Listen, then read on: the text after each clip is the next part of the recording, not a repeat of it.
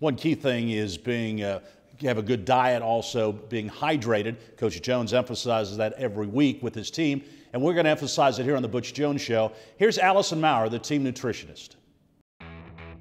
Time now for Fueling Tennessee, presented by Humana, your health partner for life. Cam, have you ever seen a sandwich like this before? I have. You have? Yes. What's wrong with this sandwich? Uh, the bread is low calorie, and uh, just a plain old boring sandwich overall. And there's only two slices of meat on here, Yes, right? it is. That is not gonna cut it. So, we don't want that one.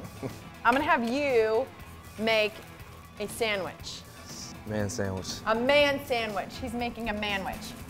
First ingredient, Man bread. why is it called man bread? Due to the a lot of calories it has in it, and it's thicker bread. Exactly. So I will have you get started. So this cheese right here that we used for this boring sandwich, that is low quality cheese slices. So we'll go with this stuff that actually hangs in the grocery store because it's a little bit better quality, a lot better quality, and it's actually real cheese. Here's your man bread. Mm-hmm. It's heavy, high calorie, good for a manwich. Do you remember how many slices of meat I told you to put on your sandwich? At the minimum. Four? Keep going. Keep going. Six.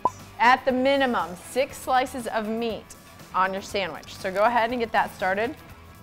With the sandwiches, this can be something you can take to school instead of mm-hmm. having to eat the school lunches.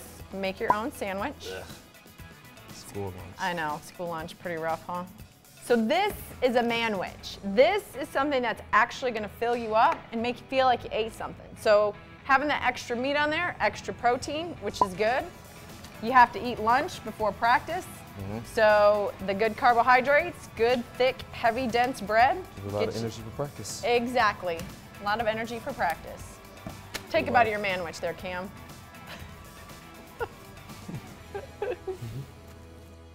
You talk about refueling every single day with this football team and every week. Well, it's critical, and everything is about rest and recovery and about the sports science end of it. And here at Tennessee, we've invested a lot into the sports science end of it. And it starts with Allison. I believe she's the best in the country. She provides so many resources for us, obviously from the nutritional part of it, but also just from an overall counselor, you know, there, be able to. Uh, you know, provide feedback to our players, to our staff, and we're very fortunate to have her as a member of our football family. And she's a watchdog, too. I mean, she's there every single day with them.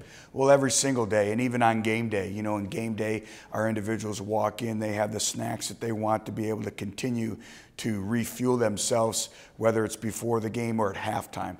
And uh, she takes great pride in her work, and it shows.